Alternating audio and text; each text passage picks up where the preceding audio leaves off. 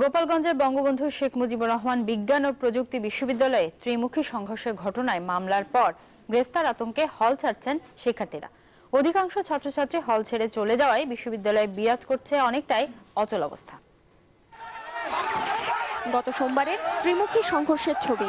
সতেরো দফা দাবিতে বঙ্গবন্ধু শেখ মুজিবুর রহমান বিজ্ঞান ও প্রযুক্তি বিশ্ববিদ্যালয়ে আন্দোলন চলাকালে শিক্ষার্থীদের অপর একটি পক্ষ হামলা করলে পুলিশ ও শিক্ষার্থীদের ত্রিমুখী সংঘর্ষ বাধে।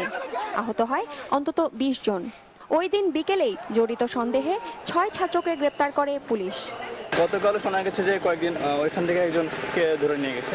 সুতরাং আমরা সিকিউর মনে করছি না, আমাদের নিজেদের এখানে থাকা। ছাত্ররা কোনো নিরাপত্তা দিতে পারছে না, যে যার কাকে অ্যারেস্ট করেছে কালকে সন্ধ্যার সময় শুনলাম অ্যারেস্ট করে নিয়ে গেছে। এখন আমরা সেই ভয়তে চলে যাচ্ছি।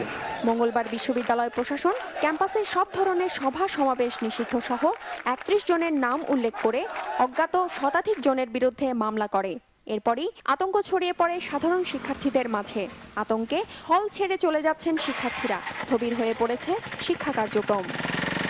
হলে স্টুডেন্ট বেশি নাই অল্প খুবই অল্প সংখ্যক স্টুডেন্ট আছে এবং অধিকাংশ স্টুডেন্ট যারা মনে করেন যে টিউশনি করে এরা আছে আর কি। তারপরে তাদের ভিতরে মানে খুব একটা আতঙ্ক যে রাতে হয়তো বা পুলিশ আসতে পারে এরকম।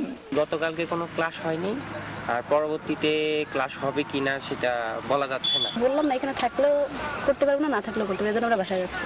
সার্বিক পরিস্থিতি নিয়ে এরই মধ্যে জরুরি বৈঠকে বসেছে বিশ্ববিদ্যালয় প্রশাসন।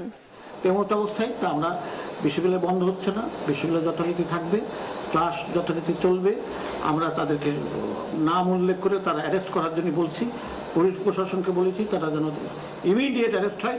বঙ্গবন্ধু সেবী যারা মানছে দায়ের করা মামলা তুলে বিশ্ববিদ্যালয়ের স্বাভাবিক পরিবেশ ফিরিয়ে আনবে কর্তৃপক্ষ। এমনটাই আশা শিক্ষার্থীদের। Desk report, channel twenty